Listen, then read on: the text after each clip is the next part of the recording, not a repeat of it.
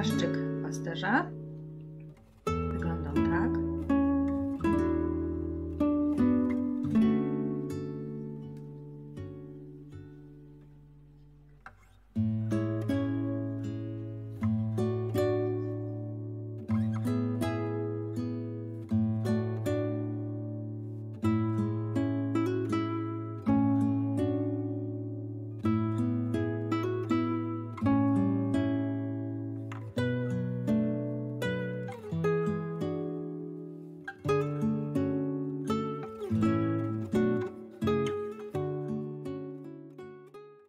38 półsłupków metodą V, czyli nad, nitka nad szydełkiem, nitka nad szydełkiem.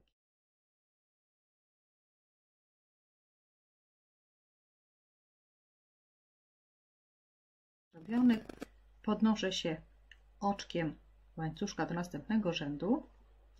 Będę chciała zmienić nitkę, ale jako, że nie lubię ciąć nitek, nie będę teraz robiła drugą nitką z tej strony, bo wtedy bym potrzebowała brązowej nitki na tej stronie, tylko zacznę od tej samej strony, strony co ten rząd. Czyli zacznę tutaj żółtą nitką, obetnę tą żółtą, tą jasną nitkę i wrócę już brązową w tą, tą drugą stronę. Robię oczko łańcuszka jasną nitką.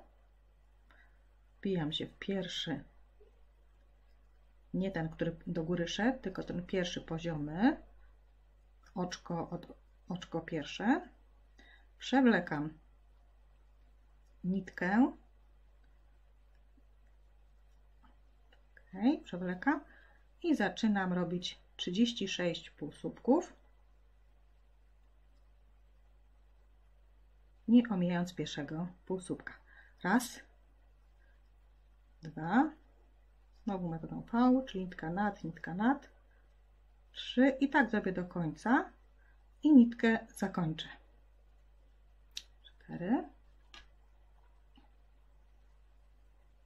5 6 nie 36 półsłupków, ale 38 oczywiście, tylko 38 półsłupka nie przewlekam żółtą nitką, a przewlekam tą, tym oczkiem łańcuszka, które zostało i czekało na mnie e, z poprzedniej nitki. Żółtą nitkę e, obcinam i będę ją, żeby nie, musi, żeby nie trzeba było zakańczać, ukryję w, w robionych półsłupkach, którymi będę teraz tutaj wracać. Znowu 38 półsłupków, ukrywając nitkę w środku.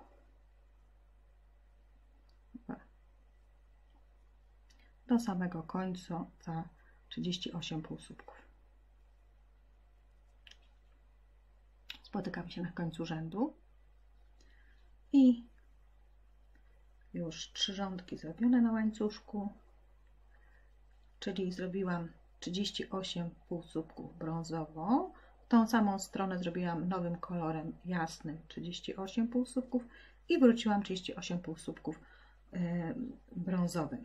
Teraz będę robiła już tylko 18 półsłupków, będę robić tylko tył no i z powrotem 6 rzędów, czyli takie w tą i z powrotem trzy razy. Wbijam się w ten pierwszy półsłupek, żeby go nie ominąć. I robię tylko 18. 2, 3, 4, 5, 6 i dojdę do 18. 6 rzędów 18 zrobiłam. Teraz w siódmym rzędzie znowu zrobiłam 18 półsłupków, ale już nie podnoszę się do góry, tylko zrobię 20 oczek łańcuszka. Raz, dwa, trzy, cztery, pięć, sześć, siedem i tak dalej. 20 oczek łańcuszka i jeszcze jedno oczko łańcuszka na podniesienie się, czyli 21 wbijam się w drugie oczko od szydełka i robię 20 półsłupków najpierw na łańcuszku, a potem 18 półsłupków będzie na, na y, tych plecach, czyli wyjdzie nam 38 półsłupków. Zrobiłam 38 półsłupków. Tu na końcu znowu podniosłam się oczkiem łańcuszka. Jeszcze raz to pokażę. Do oczkiem łańcuszka i teraz to sobie troszkę wyciągnę, żeby mi się nie spruło, ponieważ tak jak tutaj, żeby nie obcinać brązowej nitki, y, żółtą nitką podłączę się z tej strony, przerobię do końca 38 półsłupków żółtą nitką i zakończę. Czyli w tą samą stronę idę teraz 38 półsłupków jasną nitką. Robię oczko łańcuszka.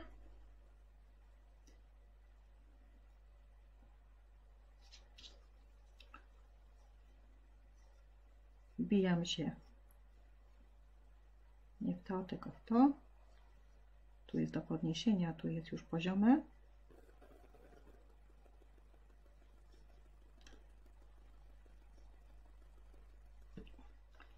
Trzydzieści sześć półsłupków. Raz, dwa,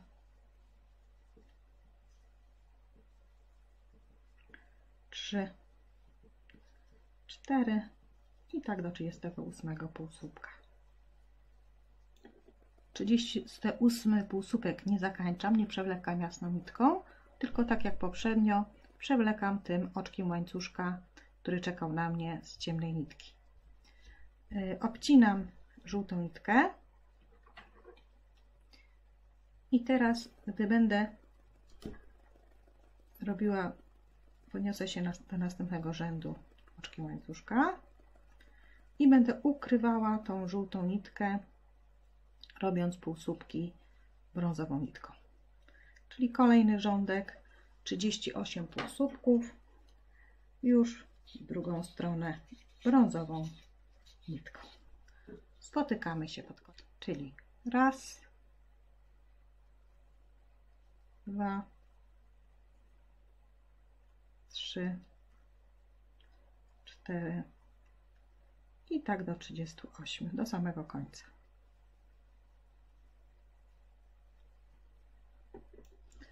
Zakończamy oczkiem łańcuszka, obcinamy i nasz płaszcz gotowy.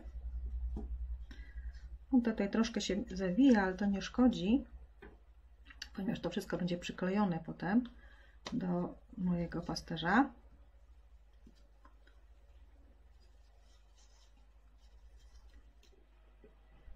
Pora na paseczek. Paseczek powinien mieć około 25-26 cm. Robiłam go podwójnym łańcuszkiem.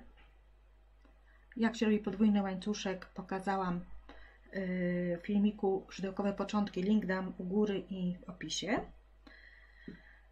Trzeba pamiętać, że żeby zostawić nitkę, odmierzyć nitkę, tutaj już sprawdziłam, że nawet 90 cm warto zostawić, czyli więcej niż dwa razy. Odmierzamy sobie 90 cm nitki.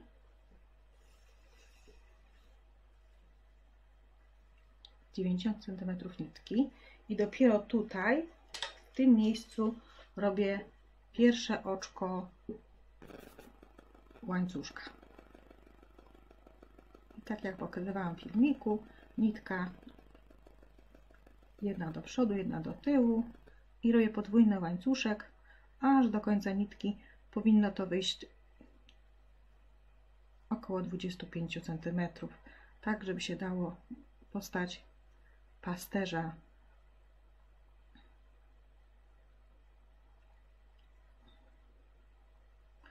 e, związać supełkiem.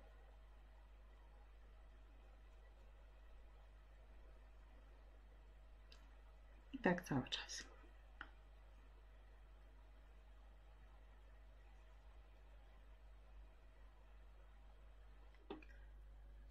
Nakrycie głowy pasterza. Zaczynamy dokładnie tak samo, jak robiliśmy tutaj, to dokładnie pokazałam w pierwszej części filmiku, więc teraz już nie będę pokazywała tej części początkowej, czyli na magicznym pierścieniu 6 półsłupków, potem 12, 18, 24, 30. Już mam 30 półsłupków i w kolejnym szóstym rzędzie będę chciała troszkę powiększyć obwód, ponieważ żeby był troszkę większy niż obwód głowy, dołożę jeszcze trzy, pół, trzy półsłupki. Najlepiej to zrobić, robię to spiralnie, żeby nie było widać tego połączenia, więc mam tu nitkę w kontrastowym kolorze. Y, najlepiej to zrobić co dziesiąty, co dziesiąty półsłupek, czyli dwa, trzy, cztery, pięć, sześć, siedem, osiem, dziewięć i w dziesiątym zrobię dwa półsłupki, dziesięć, jedenaście. Powtórzę to trzy razy i będę miała pod koniec rzędu 33 półsłupki. Mam zrobiony już szósty rząd, gdzie mam już 33 półsłupki i w siódmym i ósmym rzędzie nie będę nic powiększać, tylko będę chciała zrobić 33 półsłupki. Czyli dwa rzędy teraz, od znacznika do znacznika robimy półsłupek, półsłupek, 33 półsłupki. Spotykamy się pod koniec ósmego rzędu. Ósmy rzęd zrobiony. Teraz będę robić tył nakrycia głowy. Będę już to robiła w tą i z powrotem. Dlatego zrobię to już z półsłupkami V. O wszystkich rodzajach półsłupków mówiłam w osobnym filmiku Szydełkowe początki. Będę szła teraz 20 e, półsłupków. 20 półsłupków i następnie e, obrócę, zrobię oczko łańcuszka i będę wracać z powrotem.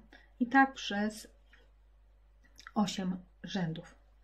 Czyli zaczynamy od naszego znacznika. Znacznik będzie dalej potrzebny, żeby wiedzieć dokąd wrócić. Robię 20 półsłupków, 13 nie będzie przerobionych. Już mogę teraz zacząć robić metodą V, czyli nad i nad, łuczka nad i nad, łuczka nad i nad. Już nie musi to być takie ścisłe, nic tam nie będziemy wypychać. A nawet lepiej będzie, jak ten, ten tył będzie taki bardziej luźny. 20 półsłupków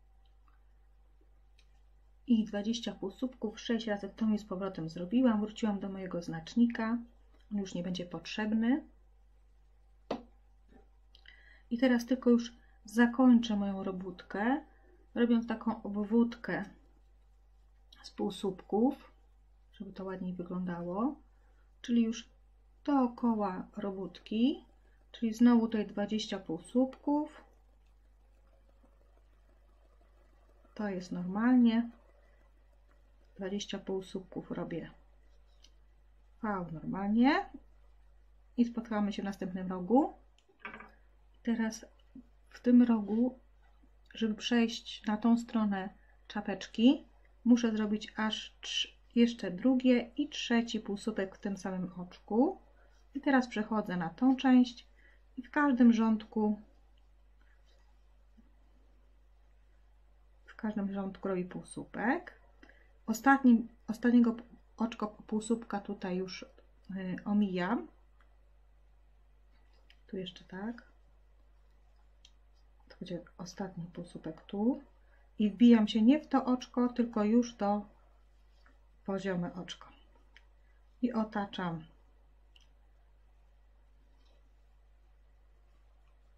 dookoła głowę.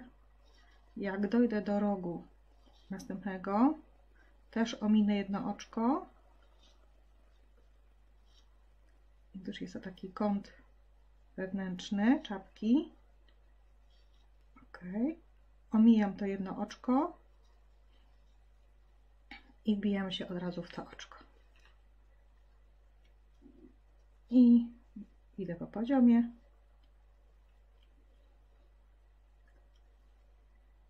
I tutaj na rogu też zrobię jeszcze dwa rządki i zakończę. te niteczki, które mi zostały, e, ładnie zakończyć i obciąć. Przewlec przez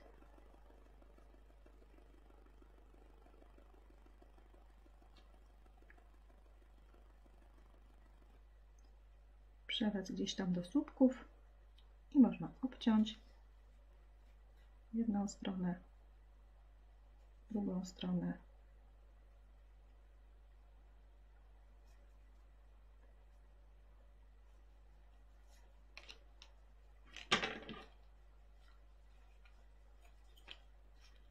Ta środkowa nitka nie będzie nam przeszkadzała, ją przykleimy. Potrzebny nam będzie jeszcze, nam będzie jeszcze taki łańcuszek podwójny, tak jak przy pasku, żeby tutaj nałożyć. On ma około, zaraz zmierzę, paseczek na nakrycie głowy około 14 cm podwójny łańcuszek wbiłam się końcową nitką w pierwsze oczko i oczywiście u mnie to ma tyle centymetrów, każdy sobie zmierzy tak, żeby jemu pasował, pasował to laska, pasterza. Możemy użyć zwykłego kijka znalezionego w lesie albo otoczyć włóczką, jakąś resztką włóczki. Ja akurat mam potrójny kokonek, który mi został. Yy, brązową nitką druciki, grubsze, cieńsze. Yy, możemy obkleić, ja obklejam to klejem Bambino PVA, bo jest on w płynie, robi się to wtedy dość wygodnie. Pewnie można by też czarodziejskim klejem, bo on się robi przezroczysty po wyschnięciu. Musimy jakoś zahaczyć początek nitki. Może zrobię to za pomocą pętelki, zwykłej pętli, pierwszej pętli łańcuszka. Wtedy już mam, łatwiej się to początek trzyma. I teraz pędzelkiem obklejam tu tą część.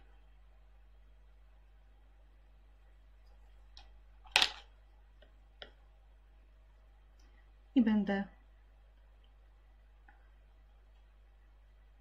y, zaraz kręcąc laską tutaj, tylko ten koniuszek jeszcze zabezpieczę. Ten klej PVA dobrze się myje z, z ręki, zmywa, więc jeszcze tutaj otoczę. Nitka już przytwierdzona. Jeszcze wrócę tam na dół, żeby to zabezpieczyć. Teraz kręcąc tą laską otoczę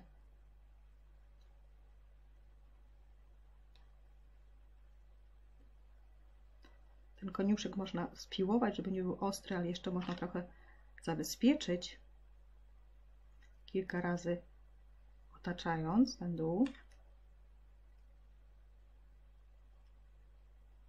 I teraz wracam już do góry. Będę po trochu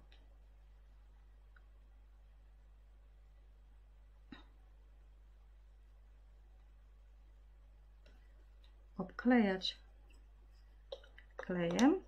Mogę nawet to jeszcze wzmocnić, tą włóczkę zmarując klejem.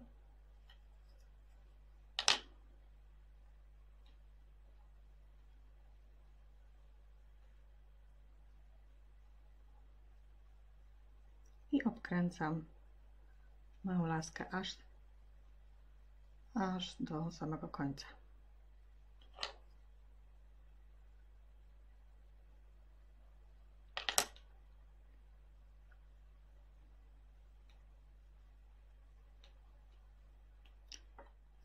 Laski gotowe. Czekają na to, żeby wyschnąć. Wykończenie. Chowam wszystkie nitki do środka. W tym czasie rozgrzewam klej na gorąco.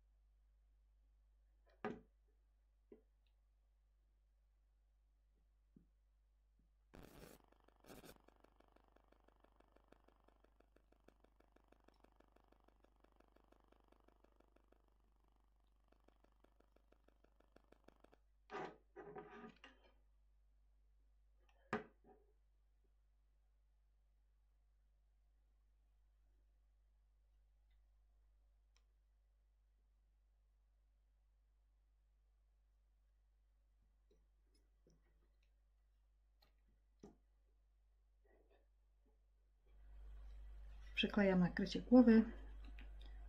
Ukryję te wszystkie tutaj niteczki, które tutaj były.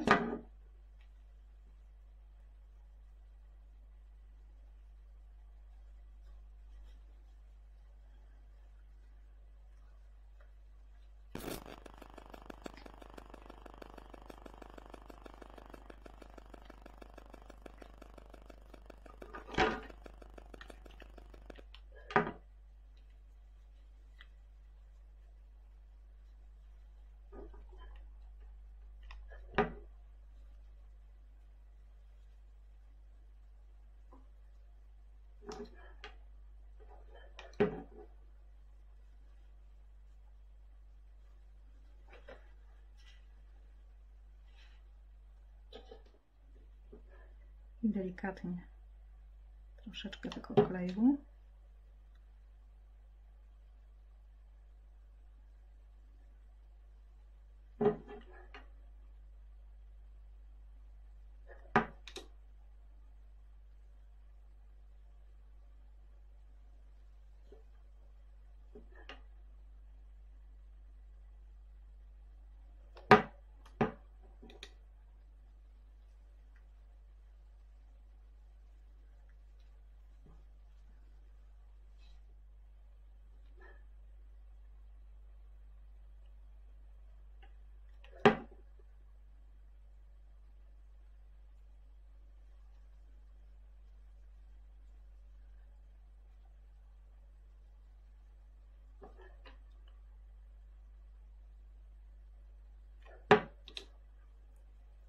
Te końcowe niteczki ukryję też do środka głowy. Jeszcze je przewiążę i ukryję.